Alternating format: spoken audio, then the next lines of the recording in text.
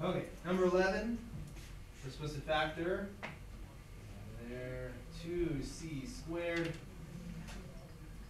minus, minus seven c plus three. Okay, uh, there's some guessing and checking, guess and check our way to the factorization of this polynomial, It wouldn't take too long. Uh, but, in order to give us lots of practice at this new method I've shown you, what I call the AC method.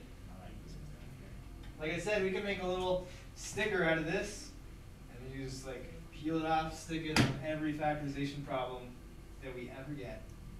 Okay? So first part is AC, which means A times C. What's A in this case? In this problem, what is A? Okay, so A is just the thing that's multiplied by C squared. Just two, yeah, just two. And what is C? All three, sorry. Right, so every quadratic is gonna look like, it's gonna have this structure. And as long as we write the highest power of x first and the next, and then the one that doesn't have an x at all, then it'll just be a is first, b is second, and c is last. Again, a is always multiplied by x squared, b is also always multiplied by x, and c is always just the number with no x, just the constant. So a is two, and c is three, so two times three is six. And down here goes b, which is negative seven. Okay, so that's part one. Just writing those down. Uh, so we need two numbers that multiply to a positive six and add to a negative seven. So what can you tell me already? That I need to multiply to a positive and add to a negative. Two numbers multiply to a positive and add to a negative. What can you tell me about those two numbers? One of them's negative. Both of them negative. One of them's just one, one's negative. One? That's all that matters. Okay, if one of these, so these are the two numbers, you're gonna put them right here. If this is negative and this is positive, and I multiply a negative times a positive, what kind of number do I get? You get a negative, it should be negative, it should be positive six. It's not a negative. no. Same thing, positive and negative would be the same thing. What, negative and negative? Two negatives? That's a positive. Double negative. Right. Multiplies to positive the and adds to a negative. Right? Okay. Multiplies to a positive, adds to a negative. So what two numbers can multiply to a positive 6 and add to a negative 7? Negative 3 negative 2. Negative 3 negative 2. I'm sorry, um, that's not right. That's not right, because negative 3, times, yeah, negative three minus yeah, 2, 5.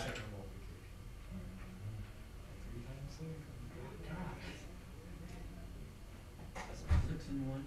6 and 1. Negative 6 times negative 1 is 6. Negative 6 minus 1, negative 7. Okay, so all that work was done just to figure out those two right there. So that becomes two c squared minus six c minus c plus three. Six c squared minus six c minus c, so the negative six and the negative one, that I, anyway, one, but we all know there's a negative one right there, came from right here. And I know I could do that because negative six c minus one c is negative seven c, so I haven't really messed anything up. It's still the same as it was, just like haven't combined these two like terms.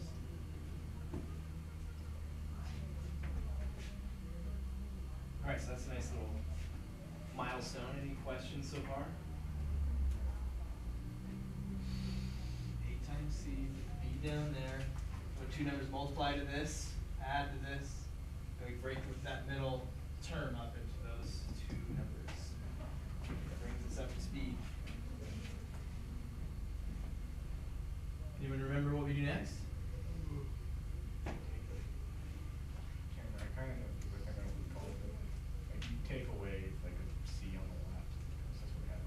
Alright, so first of all, we have to see these as two groups of two. So there's a group of two. Other group of two is this group of two. Right? Okay. So two groups of two. Then two, we do the same thing. We do the same thing that Branson was just talking about. Here's a group of two. I ask myself, in this group of two, what do they both have in common? So C, anything else? We both have in common that are in this They both have a lavender group, what's that? Both have two. They have a two, so if I go to two from there and there, if I go to C from there and there, we pull out a two C from both. What would the inside of the parentheses look like then if we pulled two C from both? C, no, um, that, Two C times C is two C squared. um, uh, three. minus three. Two c times negative three, negative six. Okay. It almost seemed like there's nothing in the second group to even take out, except, I told you last time, if the first term has a negative, at least factor out a negative, right? Factor out a negative one from both. At least do that. Goes for both groups. If the first number here is negative, or the first number here is negative, take a, take a negative at least. And that's it, it's not like you taking a negative two or a negative C, that's not gonna work, take out a negative one. Well, negative one times C, negative one times positive C is negative C. Negative one times negative three is positive three, negative one times negative three is positive three. Alright. Almost done, like, the next thing we write down is it, we're gonna be done. What is the next step?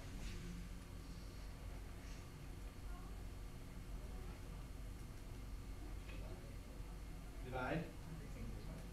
I'm- I'm not the one who does this, it's okay. Uh, kind of, divide, we're gonna factor. We're gonna factor out a C minus three. We're gonna factor a C minus three from here and from here.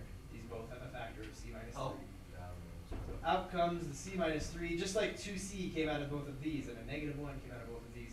A c minus 3 comes from both of these, leaving us with a 2c minus 1.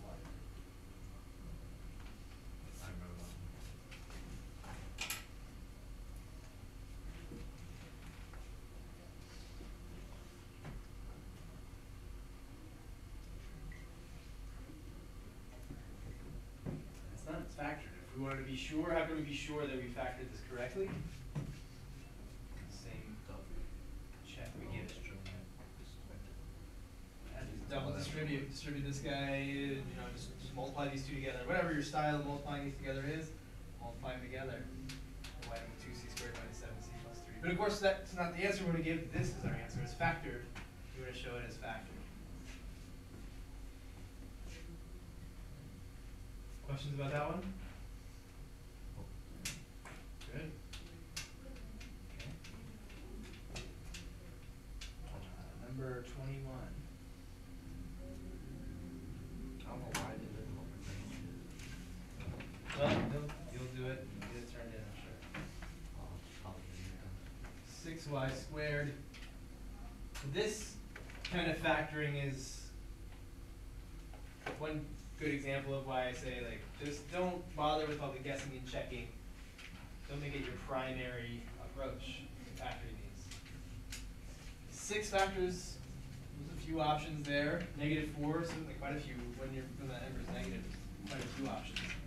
And so all the mixtures of all those different options makes for a lot of guessing and checking if you're gonna be guessing and checking. So, we do not guess and check, we just say, forget about that. Let's try the AC method. Were still trying to sell you on this, which I think I did an okay job of last time, I was trying to sell you on this, I'd say that if I can't do this thing right here, then I already know it's not factorable. If it's impossible to do this, it's impossible to factor. We're figuring out that it was impossible with the guessing and checking re- required me to guess and check every single possible combination, and none of them to work. That would not be fun. So we try A times C, that's six times negative four is negative twenty-four. Six times negative four is negative twenty-four. What goes right here? Five, negative five. Right, make sure you got the signs correct. So we want something that multiplies to a negative, that's gonna be a positive and a negative, that's the only way to get a negative when you multiply. And adds to a negative, so that negative is trying to, it's gotta be bigger than this guy here. Shouldn't take too long, tons of factors for 24. Try 2 and 12. Right? 2, 12. 2 times negative 12 is 24, negative 24, but 2 minus 12 is negative 10, so that's not what we're looking for. Anybody figure it out? Try uh, 4. Negative 6. 4 times negative 6 is negative 24, but 4 minus 6 is negative 2.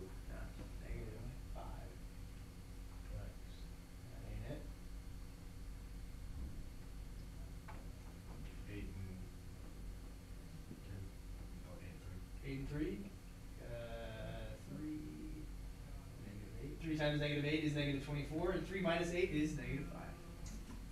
That's it. So we rewrite this as 6y squared plus 3y minus 8y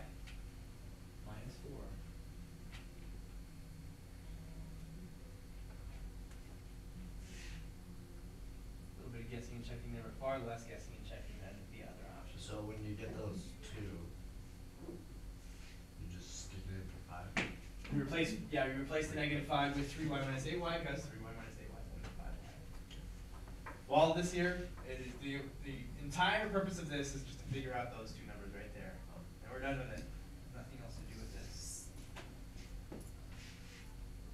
It's faster, more dependable than just guessing and checking everything.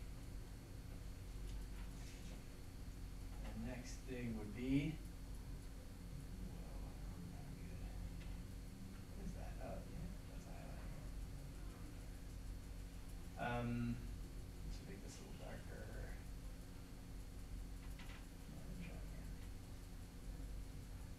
So there's a group, and here's another group.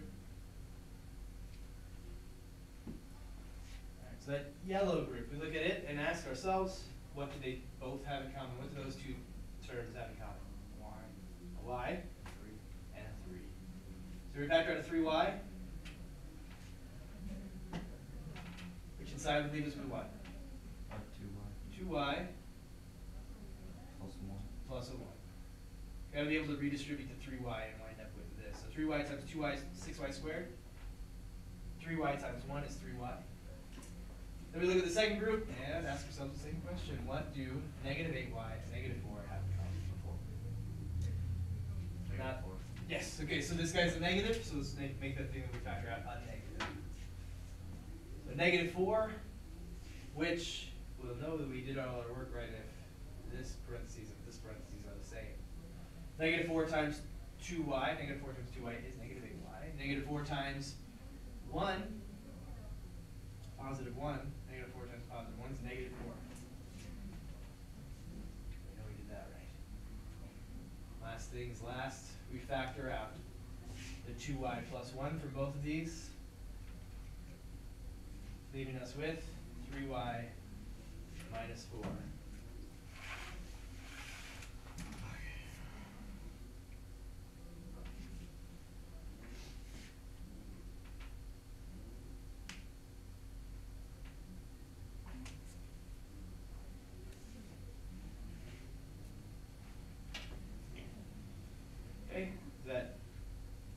Freshening your minds what we were doing last, last time, what was it? Yep. Wednesday, long, long time ago.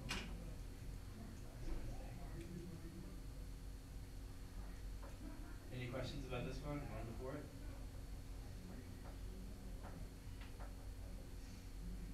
You go?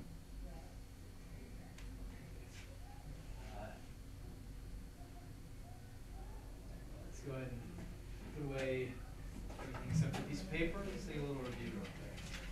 Problem. So with that one being there, I know that the factorization is gonna look like this, an x times an x, like that's a, a nice easy start, right? We could do the AC method, uh, as we've been practicing, but it would just be kind of overkill. I know that this has to look like x times x, that's the only way I'm gonna get an x squared, right? And if I move on to the, the end here, I know that I have a negative twenty-eight, which has to be the result of whatever this number is times whatever this number is. And those two numbers are gonna have to add together to a negative three, so we figure that out, like two numbers can go in there. Two numbers that multiply to negative twenty-eight and add to negative three? You get a four, so. Okay, well, here four and then here's seven. Positive Positive four, negative seven, that's correct. We can check it. We can check it just by multiplying them together. However you like to multiply these together, whether just be, uh, your distribute everything together, or double distribution, whatever you like. But x times x is x squared, x times negative seven, is negative seven x, four times x is four x, four times negative seven is negative twenty-eight. I can A little better. x squared, negative seven x plus four x is negative three x, and of course, negative twenty-eight, so we checked it. But we definitely say this as our final answer. Alright, here's our next one. Now there's not a one there, making this a little more challenging. And again, if you just wanna keep guessing and checking, you can do that, but I'll always do it this way to show you. If, if it were simpler, if the numbers were smaller and didn't factor as many ways, I might just go ahead and guess and check, cause there's just not that many right? we'll practice this again. Uh, here, put A times C. What's A times C in this problem? 4. 4 times 15, which is 60. 60. We can multiply together. And down here goes 16. 16. We figure out two numbers that multiply to 60. I think 60. 6 and 10. Be careful, cause I I see this quite a bit. Because this is such a similar thing to the, like, the previous example, we try and, uh, just say, okay, so it's like, I don't know, four n plus six and n plus ten. That's not what these numbers are used for. That's, they don't translate directly into the parentheses. The Reason we just found those was to take sixteen n and write it as ten n plus six n. Or six n plus ten, and it's gonna work either way. It Doesn't matter which order we put them in. It's got four n squared plus ten n plus six n plus fifteen. And that's okay, cause ten n plus six n is sixteen n, but because we broke it apart in this very special, very specific way, uh, we can be sure that when we factor out the common factor that those two have, and the common factor that these two have, we're gonna have something, something special. So in the, the yellow highlighted group, what do those two have in common? And two. n and two, so we factor out a two and an n, and it winds up being two n plus five, right? Two n times two n is four n squared, two n times five is ten n. And these two, they have three in common. So we factor out a three, which leaves us with two n plus five. Three times two n is six n, three times five is fifteen. And look at that, we have two n plus five and two n plus five, which we factor out for both. We're left with two n plus three. There it is, we factored it, it's done, done and over. And again, guessing and checking might have got you there a little more quickly, you can decide what you wanna do. I think that, you know, four doesn't factor all that many ways, fifteen doesn't factor all that many ways, so guessing and checking probably wouldn't take it too long to figure out two n plus five, and two n plus three. But I bet that if uh, someone who's guessing and checking and me, sitting side by side and we're just throwing factoring problems one right after the other, just rapid fire, and I do it always this way, and they do it always guessing and checking, I'm gonna get done before they do, on average, right? It's a good portion of the time that this is gonna be much faster than just guessing and checking. Okay, Even this time, if I had done it this way and somebody had guessed and checked, unless they're really lucky, I bet I would be faster on this way. Any questions? What, I call the AC method? Okay. Well, then let's extend this by saying, um, what if, what if this was an equation? Okay, so we're done with the whole, uh, quiz, the whole homework quiz. What if this was the equation four n squared plus sixteen n plus fifteen equals zero, okay? If you remember, this is very similar to what we did. Go ahead. Bust it out. in the middle of your- What is that, the loudest wrapper in the world? That is the loudest wrapper in the A pop tart, okay. Loudest wrapper in the world. Wow. I'm sorry. It's like made of shard of glass. So it's equal to zero. Uh, and this is very similar to what we did when we first started learning factoring of simple quadratics. Simple like number one was in this review just now. It said, what if it equals zero? Well, let's do all the same stuff. All the same stuff. We just factored the left side, still equals zero, equals zero, equals zero, equals zero. And we use our pride and joy, the zero product property, which says that look here, I've got a number times another number. And when I multiply those two numbers together, this one by that one, I get zero, which means what for sure? know something for sure because I just multiplied two numbers together. It's zero. One of them is zero. One of those two numbers is zero. Whether it be this one on the left in this parentheses, or this one on the right in this parentheses. One of those, one of those factors is zero. Has to be. So 2n plus 5 is equal to 0, or 2n plus 3 equals 0 solve for n, it's not too difficult. We'll subtract 5 from both sides. 2n equals negative 5. We'll divide by 2 on both sides and get n is equal to negative 5 halves. Same thing, subtract 3 from both sides. 2n equals negative 3. Divide by 2, n is negative 3 halves. And actually, if we look back, I think it's like the first section or second section. Um, they haven't already done this before. yeah, we've done this, it's just that we didn't do the, the work of factoring them beforehand, but now we can. We have the skills. Must have been section one. No. Now you can hesitate. No. I know. It must be section two, but I missed it. Section two, just No. Three? Special product? Four? Ah, so section four, yeah, we already have done this in section four, okay? The only difference in section four is that we would have started with this. Right, solved it from there. The only thing we add to it now is we figure out what the factors are before we start solving. Just kind of roll it all up into one package and we can do it all.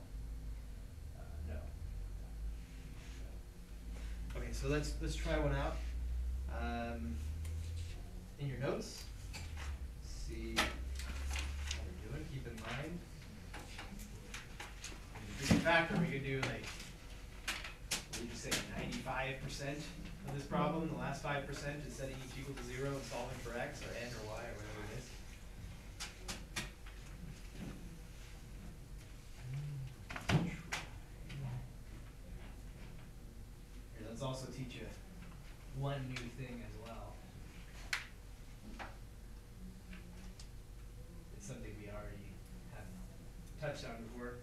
7a squared plus 2a equals 5, that's not going to help me a lot when it comes to hmm. like almost the last and very crucial step of setting each factor equal to 0. Like, what's wrong with this equation? How is it not set up quite the way we want? It's not equal to 0. We want it to be equal to 0. There's going to come a day here in a, a little while, a few classes from now maybe, where it's okay that this side is not equal to 0. We'll, we'll solve it a different way. But for now, for most of the approaches, we're gonna solve it by making this side equal to zero. So how would I get this side to be zero? Um, subtract both sides. Subtract what from both sides? Uh, five. Yeah, subtract five. Five minus five is zero, and we'll subtract five. Now it looks like seven a squared plus two a minus five equals zero. Then we do our factoring and so on. Is factoring this side, so we use the AC method, which a lot of you are flying through, so we'll just go ahead and speed that along. Two numbers that multiply to negative thirty-five and added two would be which numbers? Seven, negative five, five. Seven, negative five. Seven times negative five is negative thirty-five. Seven minus five is two. So we use that fact to separate two A as seven A, seven A, minus five A, minus five equals zero. Alright, then we put two groups, this group, the yellow group, this guy the group. Okay, so in the yellow group, we say, what do those two have in common? And the answer is what? What do they have in common? A, And? And so seven A mm-hmm. leaves us with A plus one, right? Seven A times A, seven A squared, seven A times one, seven A. What do these two have in common? Five. Five, but the first term in there is negative, so I would say pull out a negative. So we'll pull out a negative five, leaves us with A plus one. Negative five times A is negative five A. Negative five times one is negative five, so I already did that right.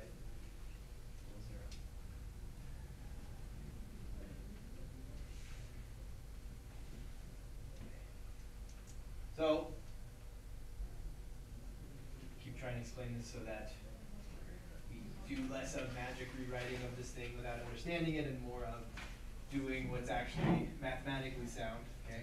That is that these, this guy here and this one here both have a common factor. Just like these both have a 7a, these both have a negative 5 in common. These both have an a plus 1 in common. So we factor out that a plus 1. Here it comes outside the parentheses, undistributing it. Okay? So a plus 1's A plus one now, outside the parentheses. What's inside the parentheses is a seven A minus five. And L equals zero.